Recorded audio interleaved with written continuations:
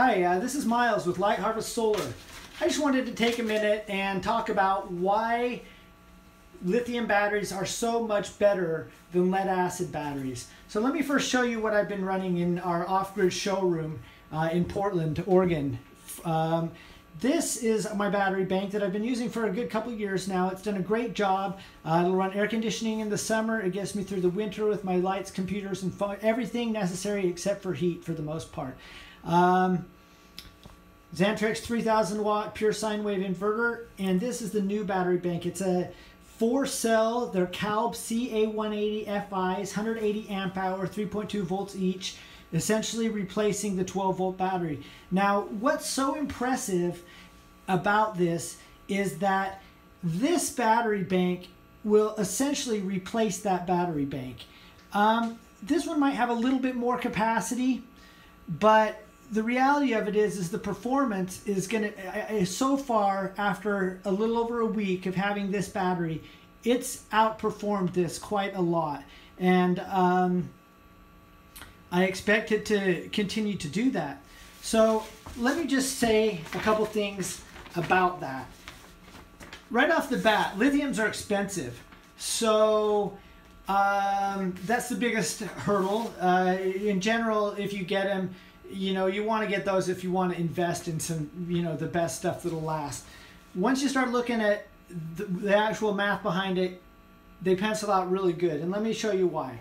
First off, if you want to power anything big and powerful, saws, drills, microwaves, um, hair dryers, coffee pots, uh, anything that requires heat or a lot of electricity, you got to have a high discharge rate. So that's been really tough in the past, particularly RVs. If you have something big, you turn on your generator. You have to turn on your generator because nothing, no, your batteries won't push it. Two batteries that are two typical batteries in an RV will do about 80 amps compared to this, which is about the size of one battery that will do 360. And I've pulled a couple hundred amps out of these, but um, I have never pulled 360. So I did a little bit of math um, just to demonstrate how much more powerful these are. And so I calculated the discharge to weight ratio of these two battery banks. Um, I used 360 amp discharge at 55 pounds is six and a half amps per pound.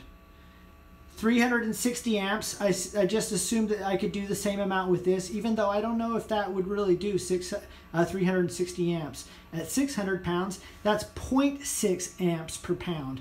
So this, in essential, essentially, uh, the discharge to weight ratio of this um, battery bank is 10 times higher.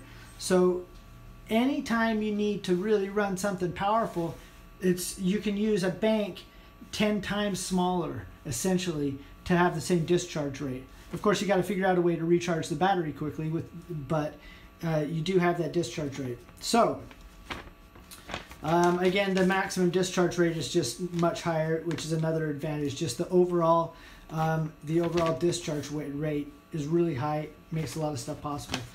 Uh, the the thing that really makes these um, cheaper than the uh, particularly the absorbed glass mat batteries these are telecommunications absorbed glass mat batteries $500 new easy something like that um, and so if you have these batteries so that's a couple thousand dollars um, which is about what this is uh, maybe even more but of course you can see that it's a lot smaller and a lot easier to deal with and the the, the biggest economic positive for the lithiums is that they last about four times longer.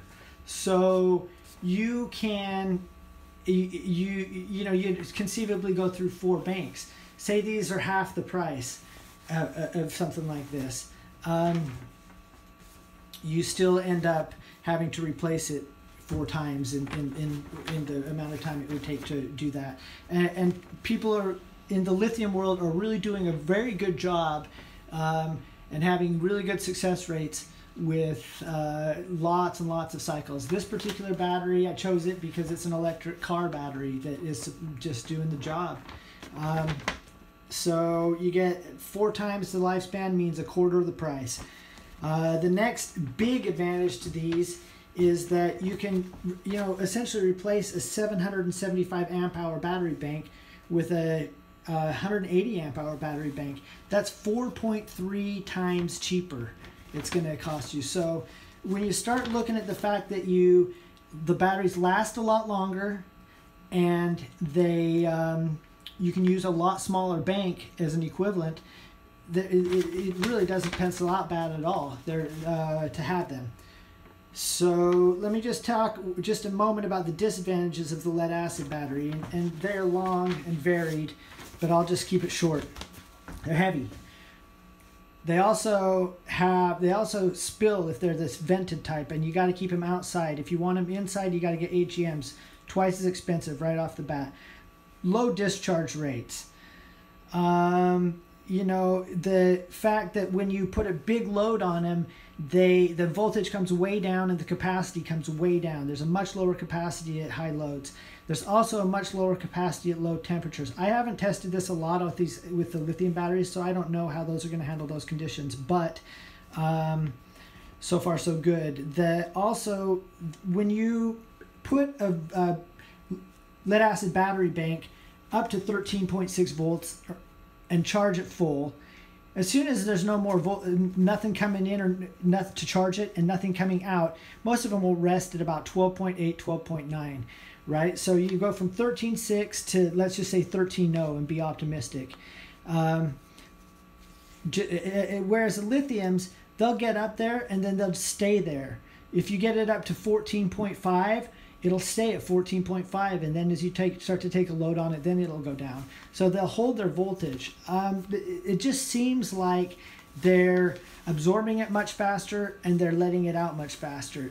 With lead acid batteries when you start doing the math and measuring how much is going in and how much is coming out it seems like the reality is even a factor of two. You you're putting in a seems so much more than you're getting out so um, just my, my gut feeling on the lithiums is they're just storing it a lot better, absorbing it a lot better, and pushing it out a lot faster.